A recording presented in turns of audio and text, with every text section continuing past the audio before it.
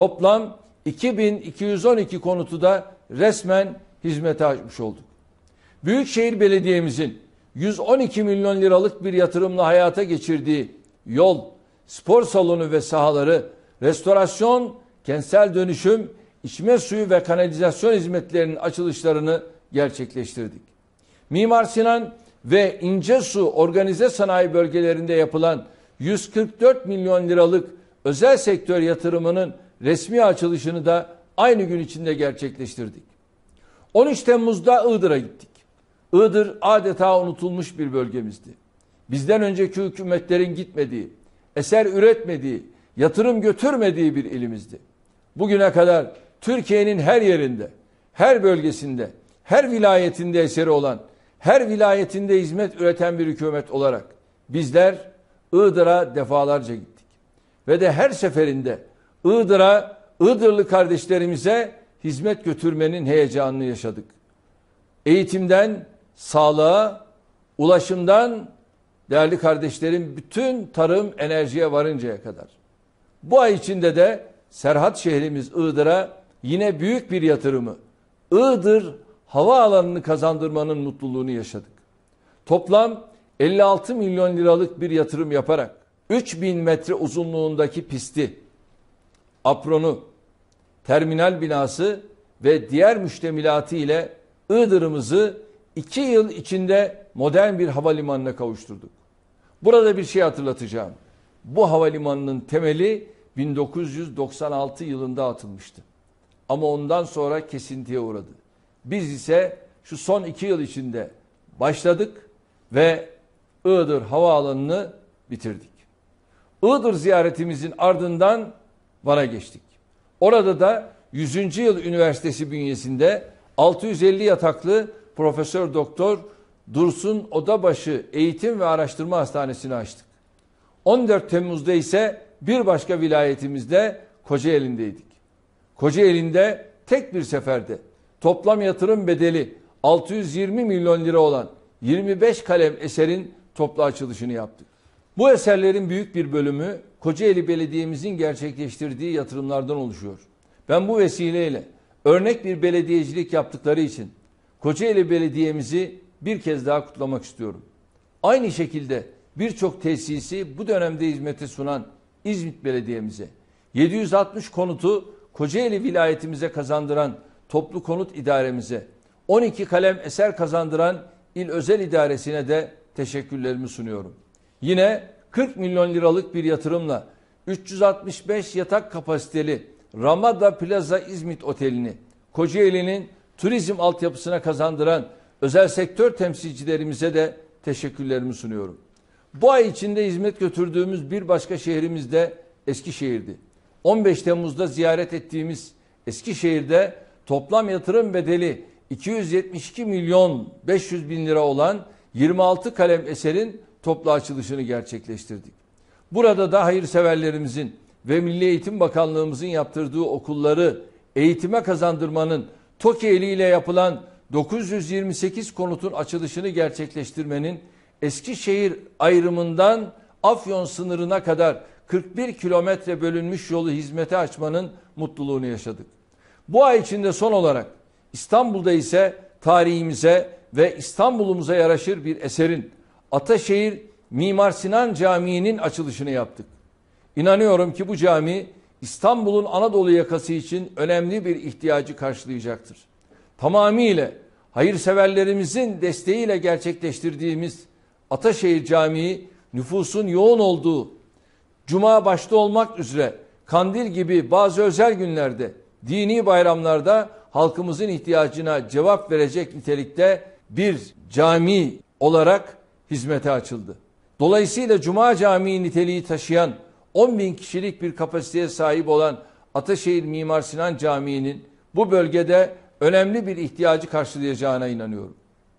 Ben Batı Ataşehir Camii ve Hizmet Birimleri Yaptırma ve Yaşatma Derneği tarafından yaptırılan bu görkemli eserde emeği geçen herkesi ve tüm hayırseverleri bir kez daha tebrik ediyorum.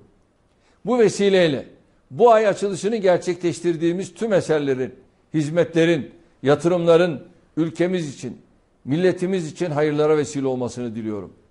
Sevgili vatandaşlarım, Temmuz ayı içerisinde dış temaslarımız da devam etti.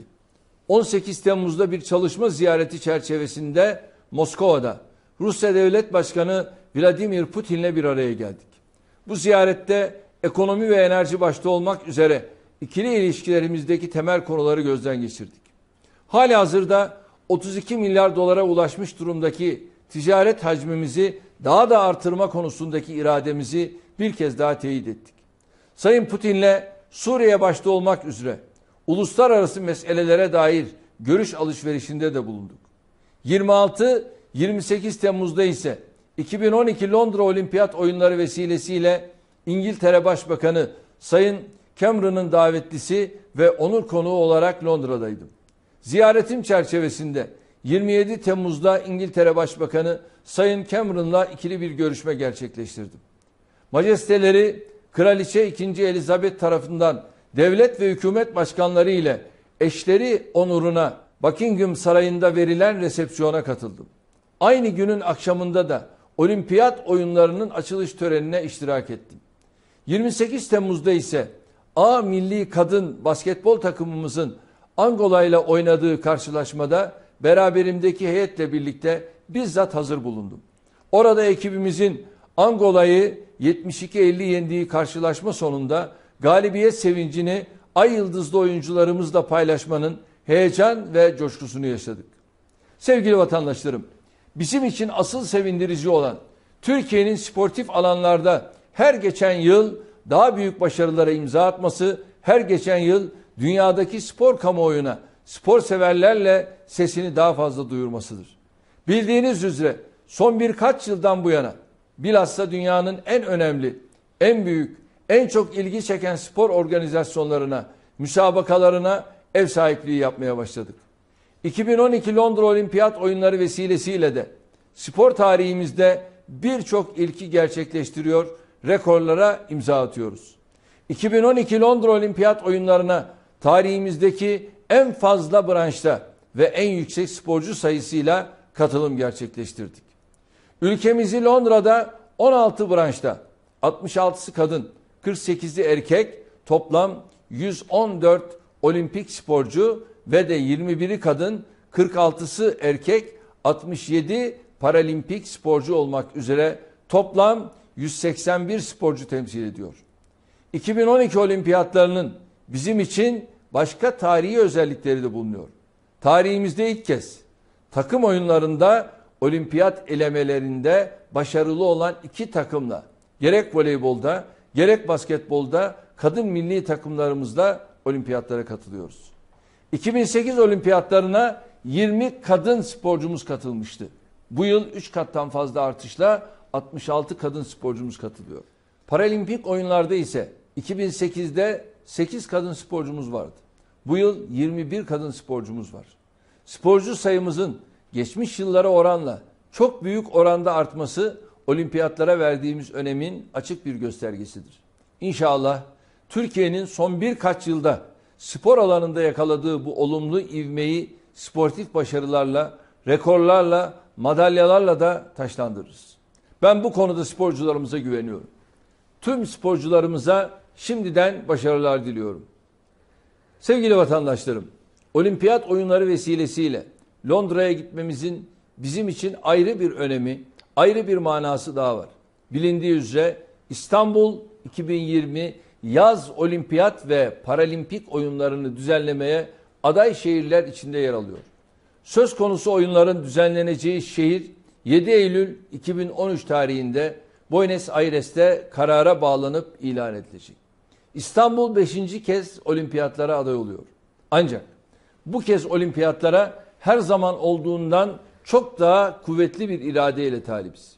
İnanıyorum ki olimpiyatlar İstanbul'da düzenlenmesi halinde olimpiyat tarihinin en anlamlı sayfalarından birisi gerçekleşmiş olacaktır.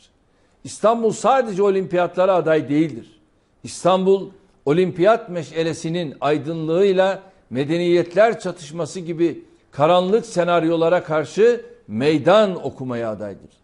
İnşallah İstanbul çoktan hak ettiği olimpiyat düzenleme işini üzerine alacak ve bunu başarıyla gerçekleştirecektir. Unutulmaz bir olimpiyata imza atacaktır. İstanbul, Tokyo ve Madrid'le yarışıyor.